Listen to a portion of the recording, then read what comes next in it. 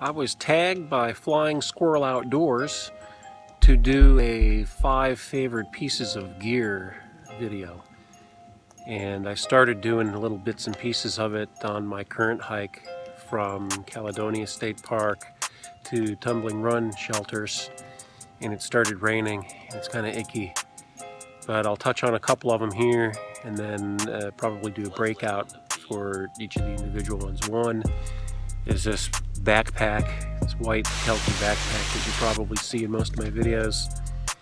And the other is this GPS Garmin 20, eTrex 20 that I carry almost everywhere uh, to track what I'm doing. And I've got a couple old school old school pieces of gear that I'll uh, talk about when I get back out of the rain. Take a look at my pack here. You will see in most of my videos I am carrying this Kelty White Cloud.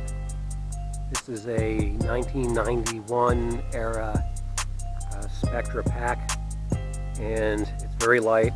I'll put the weight down below. And it's got loops, lots and lots of loops, loaded, loaded with loops. It's got a place for tools. A couple, couple places for tools. Both sides. It's got compression straps. Turn it around. What's interesting about this is the top's expandable. It's got a brain pocket with some little thing doodads to hold stuff. It's got load lifters and it's got a uh, chest strap. It's got loops on there. Because it's old school, Old school. the belt has a little more to be desired, but it's not bad. And uh, it's padded well. You sweat a little bit in this. And uh, I'll talk about this in a minute. Uh, you'll notice in my videos, almost every one, I will also have this hanging on my pack. Got a holder. And then, let's see, inside this, pop this open. It's got a, uh, like a, an extra strap inside to secure things. And it's a standard cinch top type uh, duffel baggy kind of thing. And that's about it. It's one big duffel bag. This is my GPS, my eTrex 20. I bring it on almost every hike I go on. On a pair of AA batteries, I can track where I've been for about 24 hours. And also, I've uploaded to it uh, third party topographic maps I got from GPS File Depot, as well as the uh, data points for the entire Appalachian Trail, all the shelters, uh, relevant parking areas, and some other navigational aids. It's really, really helpful for me as I'm moving around uh, on my Appalachian Trail section hikes. And I take all the data that I collect from my hikes and I store them on my computer so I know where I've been and what pieces of the trail I've hiked on and how many times I've hiked on them as well as uh, what little sections I've missed as I piece the whole thing together. One day I'm going to have the whole trail filled in and I hope that happens sometime before I do a whole through hike but even then uh, I will have this along with me or something just like it uh, to track where I've been. So I love this piece of gear and you'll see it in every single one of my videos where I'm hiking. You'll see this thing hanging off my pack. Looks like we got about at 18, 19 degrees inside. Woo! Get that little guy going with the copper strip. This copper strip on the edge is going to siphon off some of the heat and bring it back down to the canister and heat it up to increase the pressure. Getting the water all boiled up.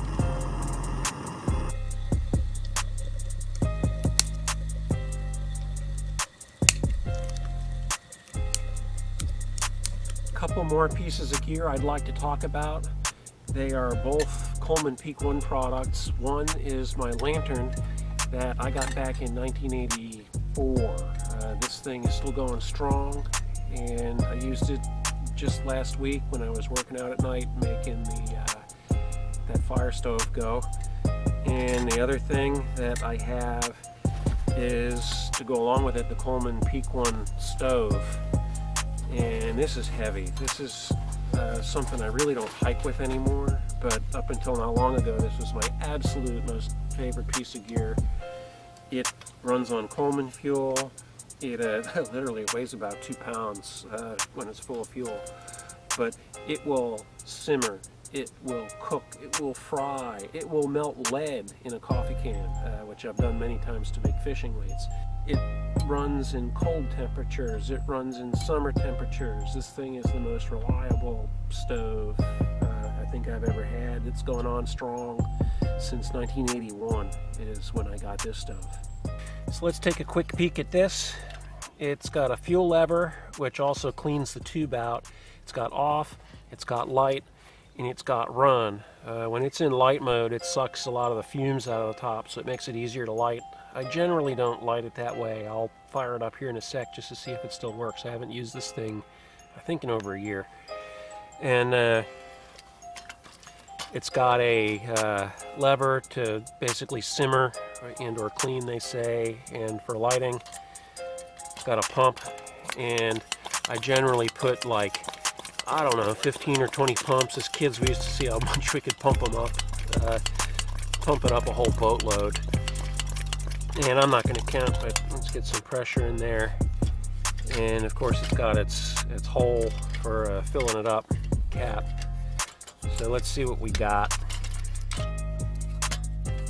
And I'll try not to burn burn my face off or burn the yard down or any of that fun stuff.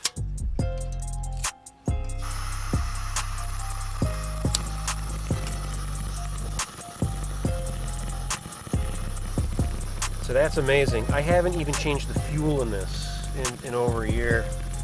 And uh, it just pops right up. You kind of see the, the yellow flames. It'll calm down once it heats up.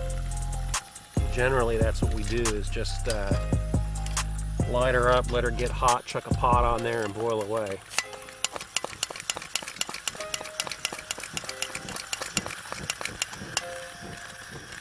Almost. Come on.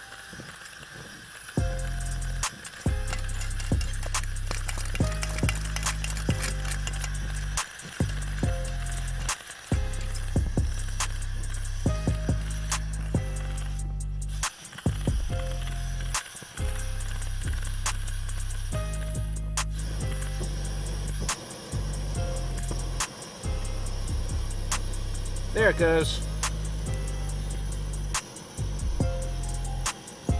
So there you have it, the Coleman Peak 1, uh, the brown one. Put the numbers and weights down below. I'd like to thank Flying Squirrel Outdoors for tagging me to show my five favorite pieces of gear. It was really hard to pick which five were my favorite. I've got a lot of gear that I've collected uh, over the course of 30 years and as you can see from a lot of my videos, uh, my White Cloud backpack and my handheld GPS and more recently for cold weather hiking, the copper strip I put on my uh, butane stove and then kind of reaching back into the old school Old school. pile, uh, my lantern and my uh, stove, my Peak 1 stuff. I really like this gear. If I had to share one more piece to go for six, which is cheating, uh, I've got this down hat from uh, Blackrock Gear. It's really, really awesome, and I think it's going to move up on my list of pieces of gear you're going to see all the time with me on the trail when it's cold outside. So with that, I think I have uh, my duty to pass this on to five others. And I tried not to pick channels uh, that, although they're great channels, they get tagged uh, over and over for a bunch of stuff Rhino Fishing TV. Uh, you don't hike, but you fish, and I like fishing. I think a lot of people want to see what your five favorite pieces of gear are. OTT Mountain. Uh, you guys uh, are a hoot to watch. A lot of camping, uh, a little bit of hiking, and certainly lots of cool gear. So let's let's see what you got. Couch to Trail YouTube channel. Uh, I know you've been watching and you've been commenting. I want to see uh, your gear, five favorite pieces. Scott Taylor, uh, starting to watch a lot of your channel now, uh, as well as Maryland Outdoors. So let's have at it. Five favorite pieces of gear. Tag, you're it. And all this old school gear, it's been taking care of me.